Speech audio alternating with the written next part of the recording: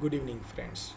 Today i am coming up with very interesting topic a special use case for trading business where they want to differentiate buying a normal product which is storable and buying a special product which is only based on demand. But here i want to make separation of my storage location.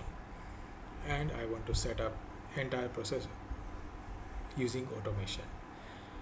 So what I have done is I have created two separate locations in my warehouse. One is the normal stock location where which is replenished location and again it can be used as a buying location and I have created separate reserve stock location which is again a replenished location under the same warehouse and then what I have done is this is my normal buy route whenever it considers buying anything it will go to my normal stock location. But I have created separate buy reserve route which triggers and goes to this particular reserve stock location only. And I have created separate operation type also to conduct a separate um, warehouse operations.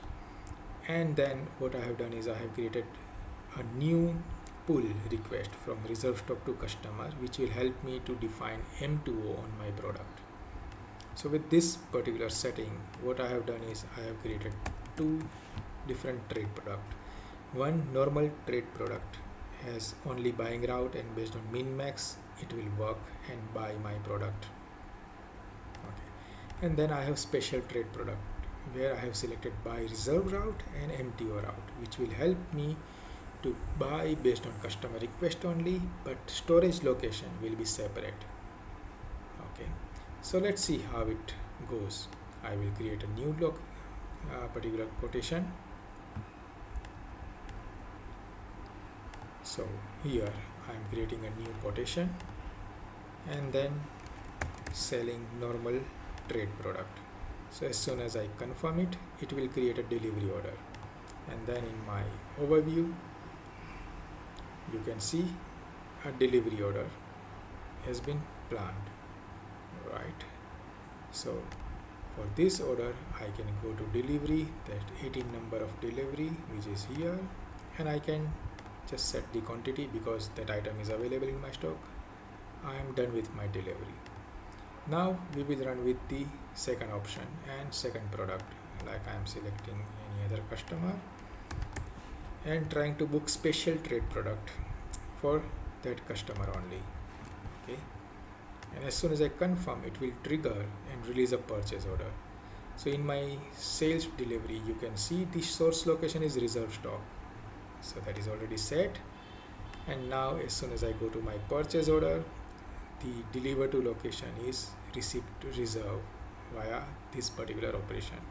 So as soon as I confirm it will create my receipt and delivery both together.